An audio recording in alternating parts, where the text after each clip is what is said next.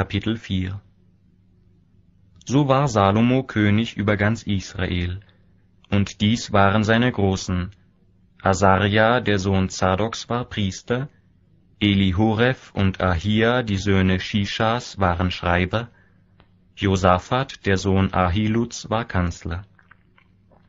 Benaja, der Sohn Jojadas, war Feldhauptmann, Zadok und Abiatar waren Priester. Asaria, der Sohn Nathans, stand den Amtleuten vor, Sabut, der Sohn Nathans, war des Königs Freund. Ahischar war Hofmeister, Adoniram, der Sohn Abdas, war Fronvogt.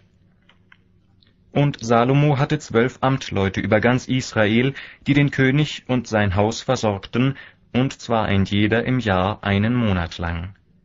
Sie hießen der Sohn Hurs auf dem Gebirge Ephraim, der Sohn Dekers in Makatz und in Shaalbim und in Bet Shemesh und in Elon und Bet Hanan, der Sohn Heseds in Arubbot und hatte dazu Socho und das ganze Land Hefer, der Sohn Abinadabs über das ganze Hügelland von Dor, er hatte Tafat, eine Tochter Salomos zur Frau.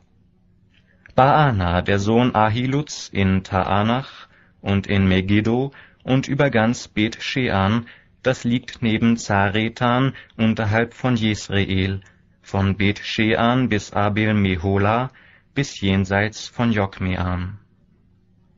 Der Sohn Gebers zu Ramoth in Gilead, er hatte die Dörfer Jairs, des Sohnes Manasses in Gilead und die Gegend Argob, die in Basan liegt, sechzig große Städte, ummauert und mit ehernen Riegeln. Ahinadab, der Sohn Iddos, in Mahanajim. Ahimaaz in Naphtali, auch er hatte eine Tochter Salomos, Basemat, zur Frau genommen. Baana, der Sohn Hushais, in Asser und Bealot. Josaphat, der Sohn Paruachs, in Isachar. Shim'i, der Sohn Elas, in Benjamin. Geber, der Sohn Uris, im Lande Gilead, im Lande Sihons, des Königs der Amoriter, und Ogs, des Königs in Basan. Ein Amtmann war in diesem Lande.